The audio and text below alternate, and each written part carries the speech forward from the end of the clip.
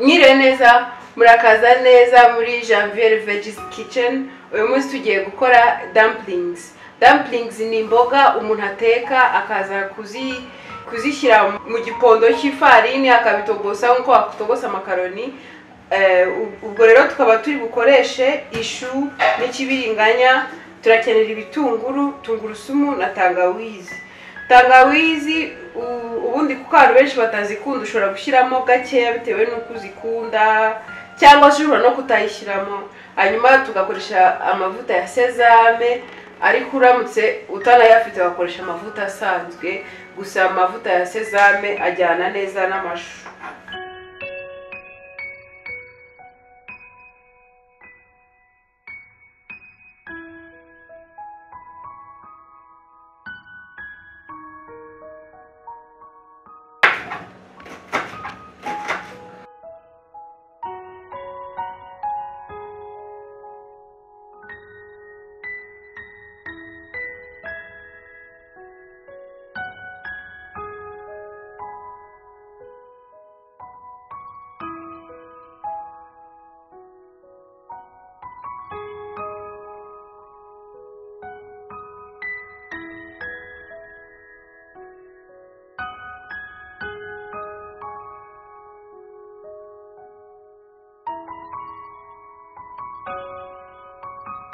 Tugiye gushyiramo na karoti rero mu rwego rwo kongeramo vitamine.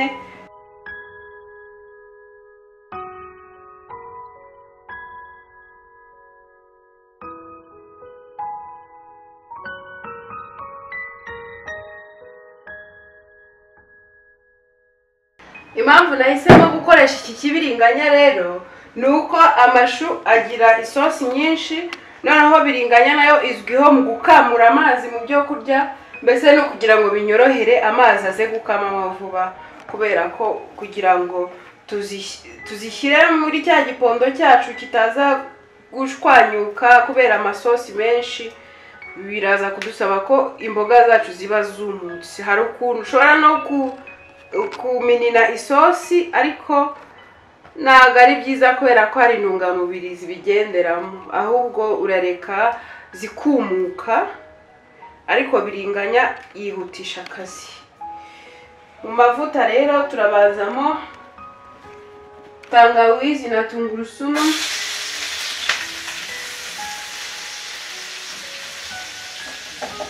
Hanyuma mu rwego rwo kutangiza igihe hari ukuntu ushobora gushyiraho imboga zawe hanyuma ukaba utunganya n'igipondo cyawe kugira ngo uze kubikorera rimwe akazi kaze kwihuta. Iyo tungurusumu na tangawizi bitangiye gufata irangi ushyiramo n'ibitunguru.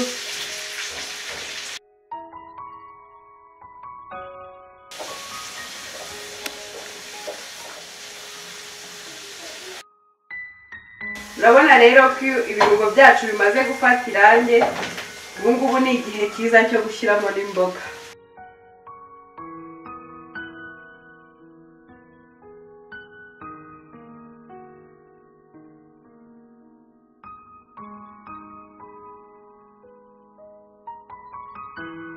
Aha rero ushobora kwibaza impamvu ntetse kuri iyi panu.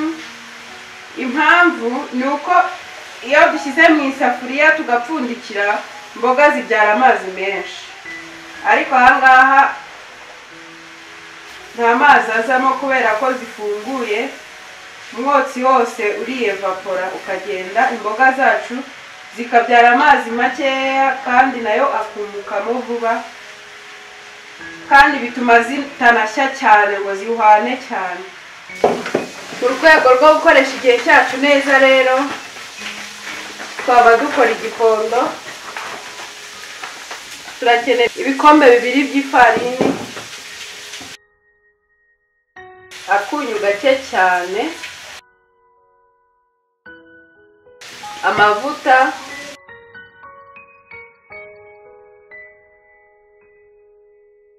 Mbibutse ko amavuta ukoresha ayo ufite si ngombwa ngo ube ufite aya sezame. Ariko aya sezame biba akarusho kubera ko ifite gu ya sezame zikaranze ifite umwihariko mu buryohe kuri daputingi amazi na yo ni akazuyazi adashyushye cyane.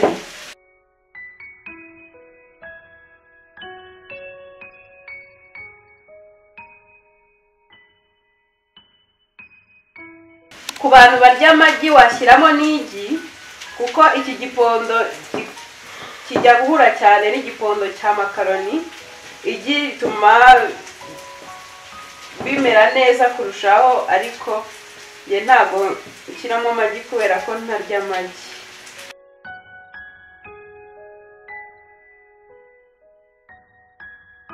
Igipondo cyacu rero na cyo ubu ngubu kimeze neza ntabwo gifatira kandi ntabwo cyoroshye cyane nta nubwo gikomeye cyane. Tugiye kukirambika ahantu tukireke kiruhuke. Iteka ryose iyo umuntu akoze igipondo icyo ari cyo cyose kiba gikwiriye iminota yo kuruhuka.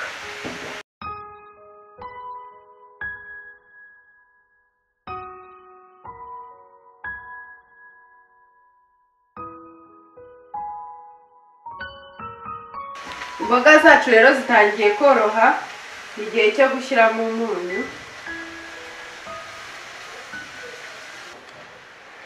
Dumplings rero zinaryohana nanone na soy sauce cyane.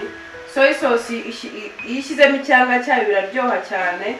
Ubwo rero iyo uri bushyiremo soy sauce ushyiramo akunyu gakeya kubera ko soy sauce na yo ifite umunyu mwinshi hanyuma waba utari bushyiremo soy sauce ugashyiramo umunyu uhagije.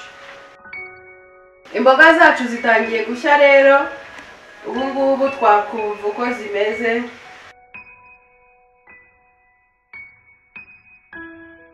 Zirahiyemo gakeya ariko ntabwo zahwanye cyane ku buryo zirakunjagurika. N'akunyu ni gakeya. Ubu rero nifuje ko aho kugira ngo nongeremo umunyu nakongeramo soy sauce. Kugira ngo yongeremo uburyohe. Ariko ibyo gushyira muri dumplings zawe ushyiramo amahitamo yose y'imboga ushaka n'ibirungo ushaka.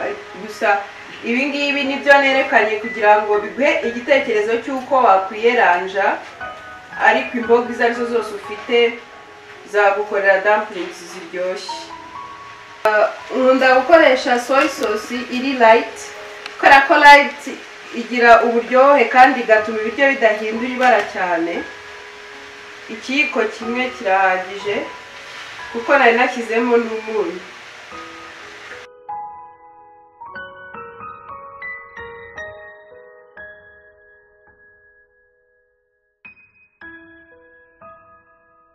Zacu rero ubu ngubu zirahiye tugiye kuba tuziteretse ku ruhande kugira ngo zibe zihora hanyuma tube dutunganya cya gipondo cyacu hanyuma mu gihe igipondo na cyo tugitegura turaba dutogosa amazi yo kuza gutogosamo cya gipondo cyacu twashyizemo imboga donke ni nk'uko wateka amakaroni turakenera amazi arimo umunyu nk'uko jisite wateka amakaroni imboga ubu uzishyize ku ruhande kugira ngo zibe ziruhuka kugira ngo uze kubona uko uzishyira mu gipondo kuko zishyushye cyane zagutwika intoki birumvikana.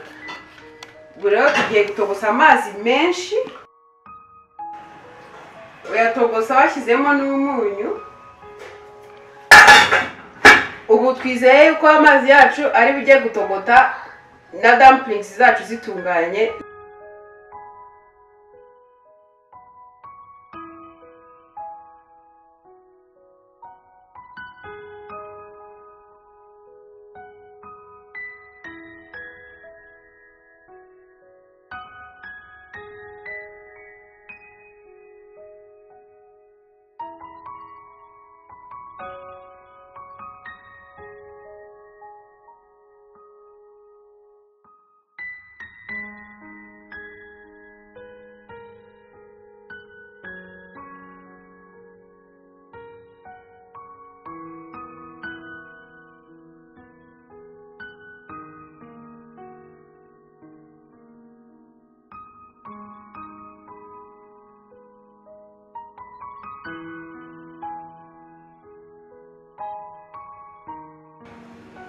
ahantu uri bugende urambika dampingi zawe rero ugenda uhanyanyagiza agafarini kugira ngo zitaza kuhafata ukabura uko uzihakura ugiye kuziteka. Ikiyiko kimwe rero kiba gihagije.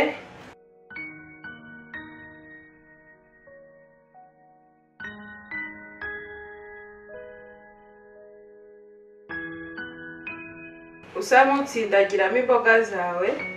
Dumplings rero uziha forume iyo ari yo yose ushaka forume yose iyo uriyo ushaka iyi ngiyi niyo nkunda kuziha kubera ko inyorohera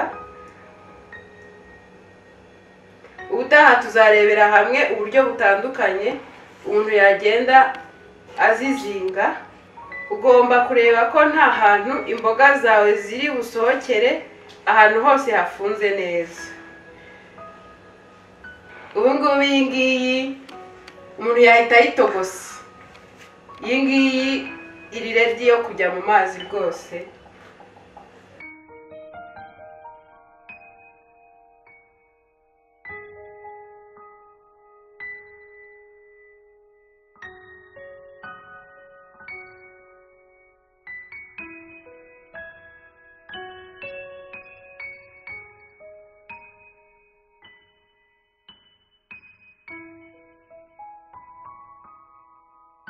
Amazi yacu yahiye rero yatogose neza ubu ngubu tugiye gushyiramo dumplings ariko icyitonderwa ni uko tudashyiramo dumplings nyinshi icyarimwe. Kubera ko ushyizemo nyinshi zishobora kwegerana zikaba zafatana zishobora gushwanyuka hagize nk'iyagize akantu k'akenge kayizaho.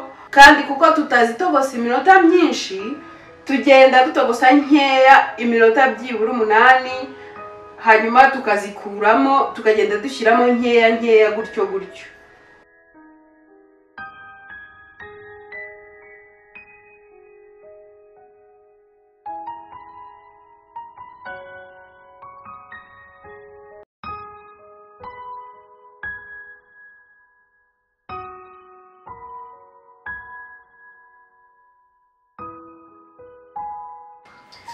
Dumplings zacu rero ubu iminota umunani irashize zigomba kuba zahiye. Tugiye kuzarura turakoresha iki ngiki twitonze kugira ngo tutazishwanyuza ariko wakoresha n'ikiyiko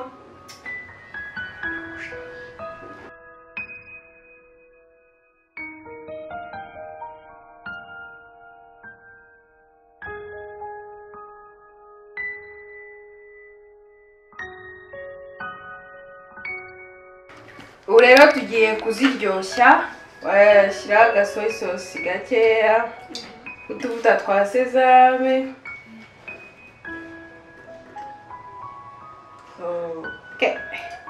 Dumplings zacu rero zikaba zirahiye.